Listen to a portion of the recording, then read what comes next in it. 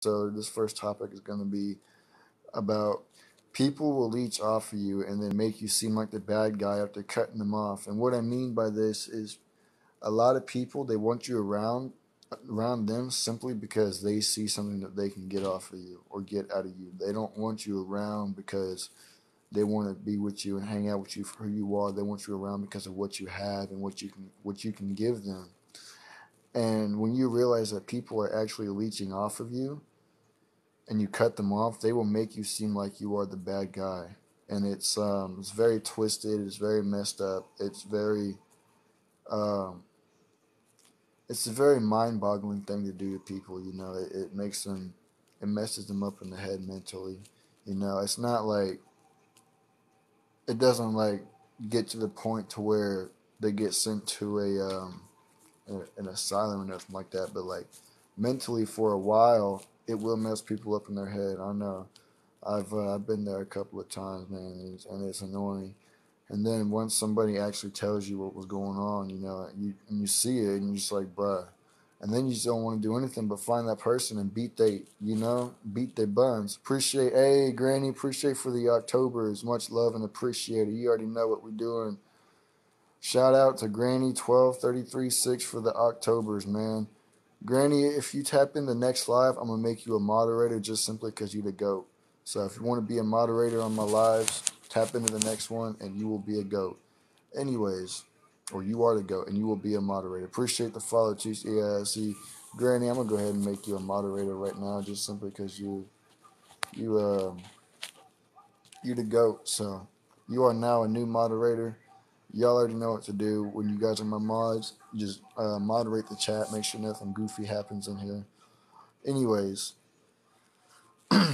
if you give somebody what they want, it will enable them to take and want to want and take more of that. You know, it has to come a point in time where you say enough is enough, and you can yeah see, like this right here. Go ahead and mute. Bye bye. Bye bye. You're gone. Anyways when you enable people to take more and more, they will take advantage of that enabling.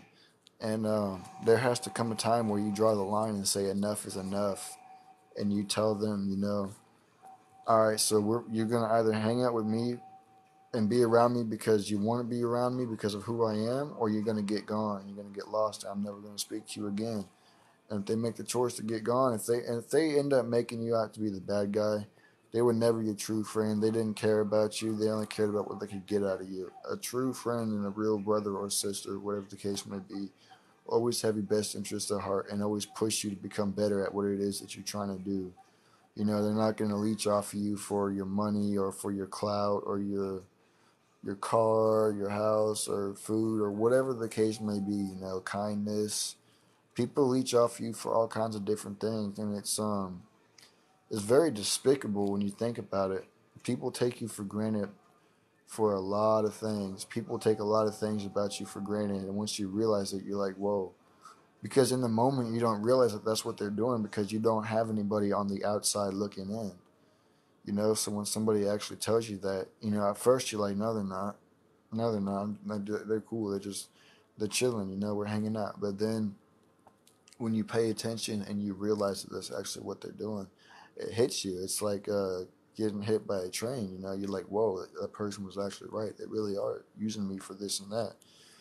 And then you got to cut them off. And then it sucks because it's another one of your friends that you lost. But really, they weren't even your friend. They just wanted you around because you they could benefit from you.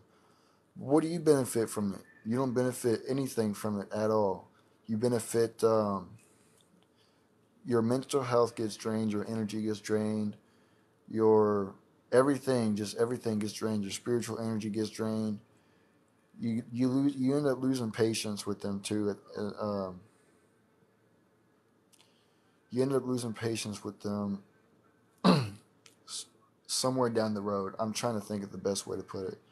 You end up uh, somewhere along the along the line. You end up losing patience with them once you realize that that's what they're doing. You know, and you can try and change somebody as much as you can but at the end of the day, if that person doesn't want to change, you can't change them at all.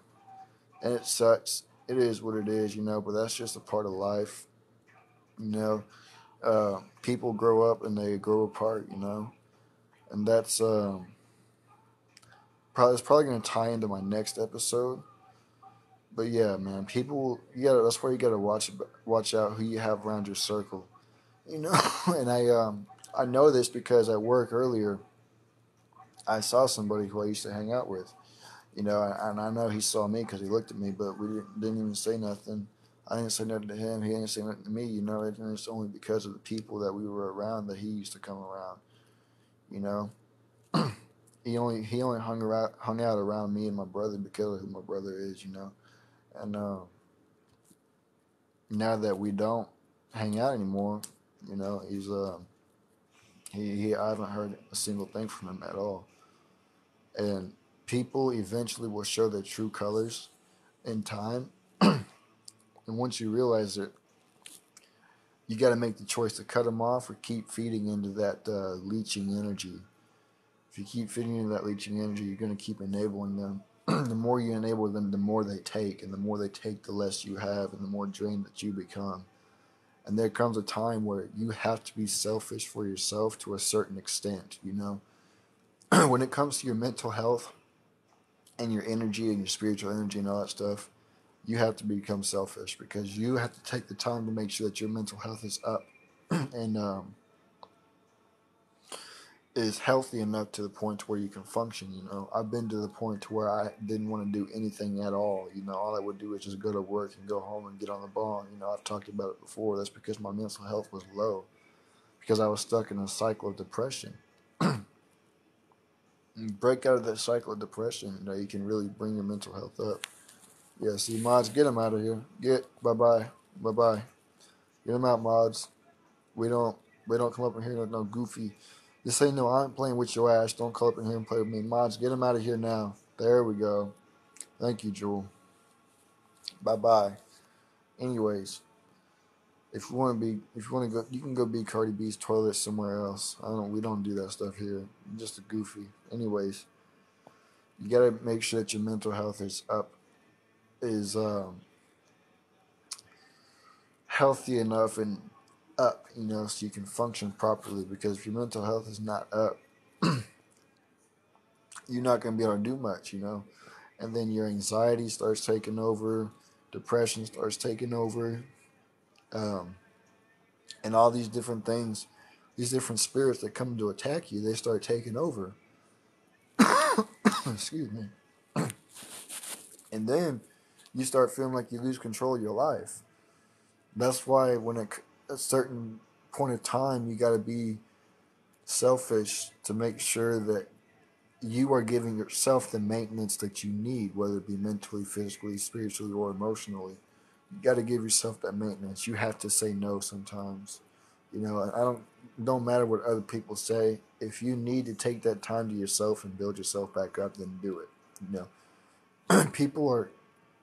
If any of your friends or your brothers or family members or sisters, whatever the case may be, trying to make you out to be a bad guy for trying to rebuild your mental health and stuff like that, they are not your true friend or brother or sister or family.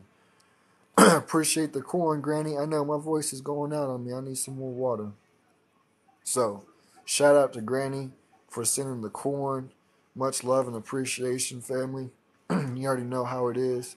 But that's gonna that's gonna uh, conclude it for this episode. I'm gonna be back with the next episode in just a minute.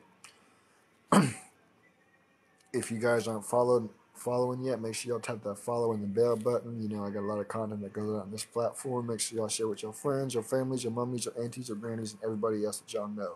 Deuces, and I'll be right back.